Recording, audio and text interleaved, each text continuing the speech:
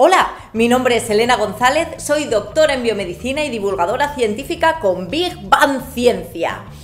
¿A alguno de vosotros os pasa que cuando escucháis sonidos muy del día a día, como por ejemplo a gente masticar o chascar la lengua, o incluso el teclado del ordenador, queréis matar a esa persona que está haciendo ese sonido?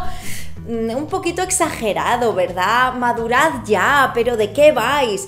No, en realidad esa no es la respuesta. Quizá tenéis una enfermedad llamada misfonía.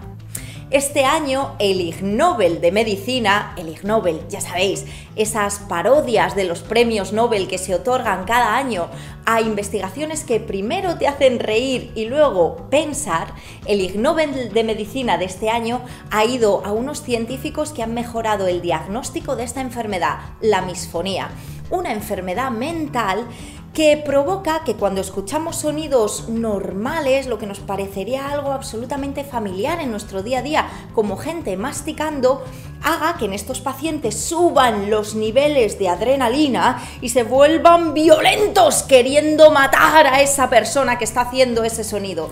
Así que si alguno de vosotros experimentáis este tipo de sensaciones, mucho mejor que vayáis a un médico. Ahora sabemos que tiene un diagnóstico y se llama misfonia.